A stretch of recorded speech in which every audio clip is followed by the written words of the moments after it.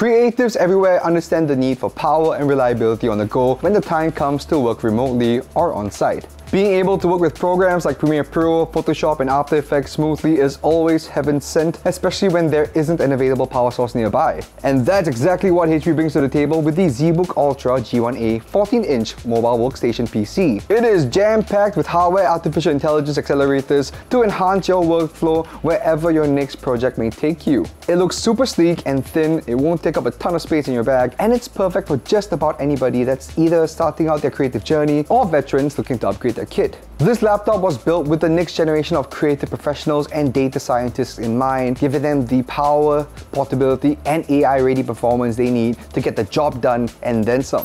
To kick things off with a pretty big bang, this is rocking the AMD Ryzen AI Max Pro processing chip that will have you rendering and working with your project simultaneously, alongside 128GB of unified memory, which is kinda crazy if you think about it. What's even crazier is that you're able to assign 96GB of RAM exclusively to the GPU, which means more juice for the ZBook Ultra G1A to handle heavy graphical loads. With 512GB of storage and up to 4TB depending on your deal with your local dealer. That's a ton of real estate for you to fill up with your files and work with. Those hardware AI accelerators I mentioned earlier will help you run productivity tasks of up to 50 TOPS NPU, which basically means you are going to get all the stuff you need to get done a lot quicker. On top of all of that, its 14-inch display is eye-safe certified, which means it meets TUV low blue light standard for eye comfort without distorting colors, and this translates into the ability to still see accurate colors without the fatigue getting to you. There is a healthy number of ports for you to utilize. On the left of the laptop, you've got one HDMI 2.1, a USB-C Type-C, and a Thunderbolt 4 USB-C Type-C,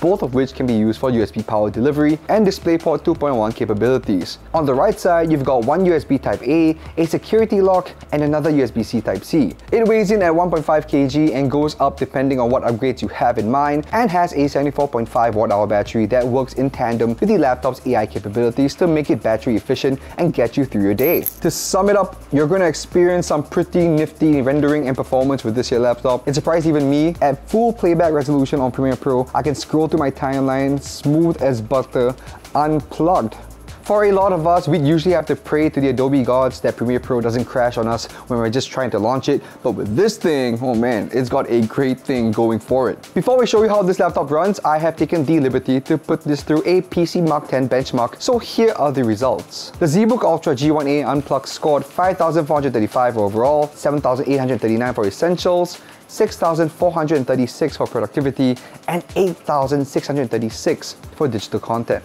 Plugged in, the ZBook Ultra G1A scored 5,437 overall, 7,278 for its essentials, 6,594 for productivity, and 9,080 for digital content. With that done, let's get straight to testing. So before I put the laptop through its paces, I'll be using OBS to record the process because you know, people love to record their processes when they're doing their work for content creation purposes and whatsoever, especially you know like graphic designers and everything, and of course artists out there and even some video guys. So that's going to be happening while we run Premiere Pro, Lightroom, and Photoshop all at the same time. So let's just see how performance is like. The power mode has been set to balanced, and of course, we are not plugged in at all. The playback resolution has been set to full and let's just scroll through a little bit down here.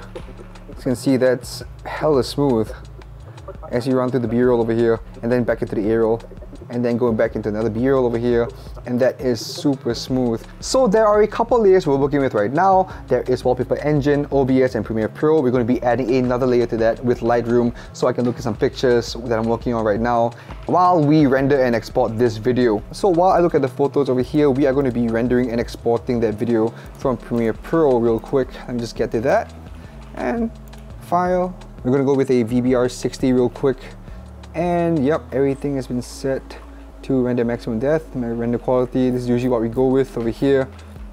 And let's export that. So while this is running, we're going to be going to Lightroom and look at some photos over here real quick. Just play around with the adjustments a little bit. That's still, it's still very smooth, wow. So as I'm running through the photos right now, that isn't much of an issue. And while Premiere is exporting over here, let's open up Photoshop real quick and do a little thumbnail and we'll be exporting the thumbnail as well. But before that, let's export a couple photos from Lightroom. We are going to go with uh, 70 photos. We're going to export these uh, dimensions uh, custom. We're going to go 1920. All right, export. So Lightroom is exporting at the same time as Premiere Pro and everything is still working. This thing is still at 7 minutes, 2 out of 70. Oh, that thing is moving fast.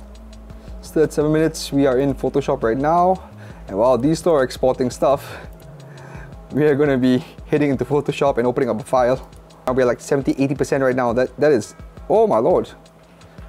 70 photos with Premiere Pro rendering and exporting that video and it's an, like a 10 minute 50 second video and we have Photoshop opened up as well with Prem still running the export so that's pretty sick you can do things simultaneously while being unplugged from a power source. However, it wouldn't be fair to Premiere Pro or the ZBook Ultra G1A if we were to run the export timings based off that little test we just did. So what I'm going to do is run the export of a 10 minute and 50 second 4K video filled with B-roll and lots of other assets inside and run this plugged and unplugged and I'll let you guys know the results in a bit. Two more things to note before I start the test. I have turned off OBS and Wallpaper Engine. So let's run unplugged versus plugged with unplug first, of course. Right, and before we start anything, here is the battery. It is unplugged, and let's hit export. With the unplugged test done, we're going to be plugging it in and see how this goes. All the conditions here are still the same. VBR1 pass 60. And of course, you know, we are plugged in right now, as you can see. So, export the test ends when the export box is closed completely.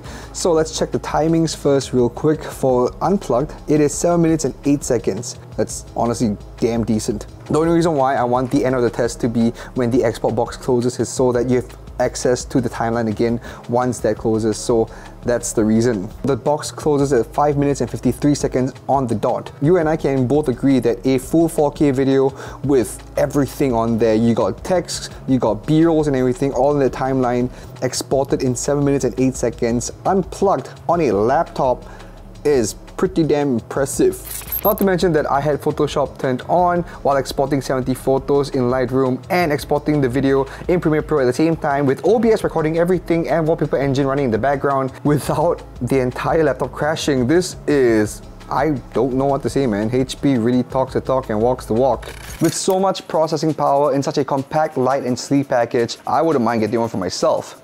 The ZBook Ultra G1A is one of those laptops that is definitely worth checking out if you're in the market for a laptop because the results do not lie. This is perfect for creators from every corner of the ring, video editors, photographers, digital artists, graphic designers, animators, who I have the utmost respect for because After Effects scares me, social media interns that need to churn out content, or data scientists to do data scientist things. The ZBook Ultra G1A is a bold step towards HP's vision of redefining the future of work, giving creators and data scientists the freedom to push boundaries anywhere and everywhere. This wouldn't be a geek culture video if we didn't put some gaming in it. Yes, it can run Fortnite and Valorant, but you know, just plug it in for good measure.